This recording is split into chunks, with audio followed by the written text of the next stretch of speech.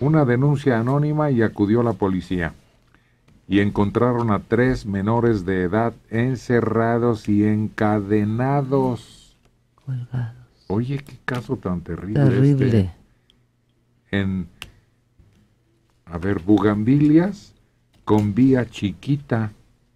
Así se llaman las calles. Ujú, Terrible. Es uno de los niños, creo que estaba hasta colgado de la pared. Es un clavo, como cuadro, algo así. de 14 años de edad, encadenada del cuello a un muro. ¿Ya? ¿Esa? Ujú. Sí, sí, sí, sí. Saraí, De tres. de 3. Tres. Y Rafael, de 5, Tres y que no habían comido en las últimas 48 horas y también tenían cadenas en el cuello.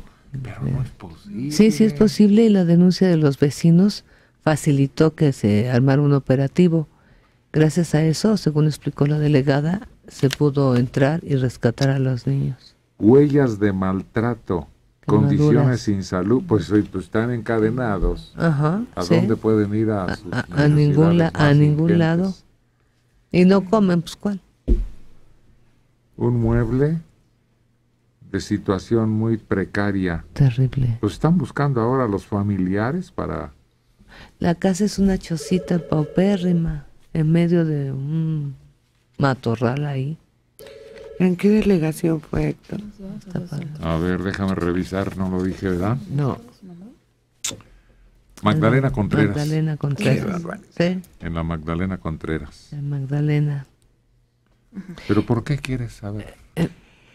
Porque hay zonas eh, que por su misma situación como Ixtapalapa se presentan mucho los casos de abusos. Bueno, pero pues Nesa y...